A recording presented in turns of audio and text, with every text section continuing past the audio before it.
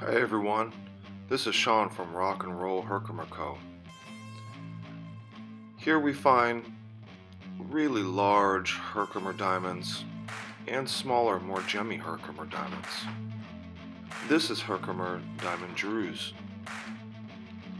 Here's a single point with a connection on the back. This is a perfect gemmy little amazingly clear Herkimer. This is mostly what we find here at Rock and Roll are these perfect gems. We find hundreds of them. Inside of some of these crystals, we find that there are what you call negative crystals that formed 500 million years ago inside the crystals as the crystals were forming. Here's an example of one of our beautiful cut gems from some of the amazing crystals that we found here at Rock and Roll. This is a nearly 19 carat large diamond cut brilliant Herkimer diamond.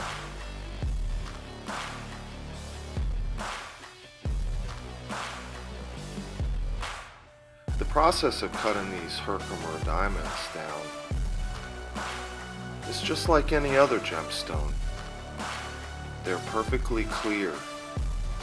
They're harder than a lot of gemstones. They're not nearly as hard as a diamond, but they're harder than other quartz. Here's some calcite associated with a Herkimer quartz cluster. And here you can see that it displays two completely different colors.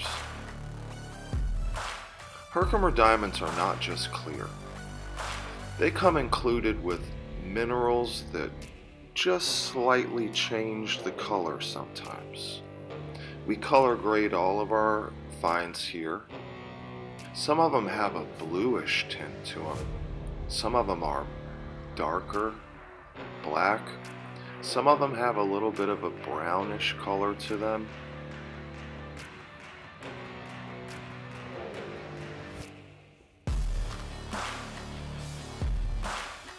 The smaller you get, the more gemmy Herkimer diamonds are. That's why we call them diamonds, because they're perfectly faceted when they come out of the ground, or the vug, or wherever you find them. They're perfectly faceted and they look like little diamonds. Tune in for our next episode of Rock and Roll Herkimer Co. You know the vibe.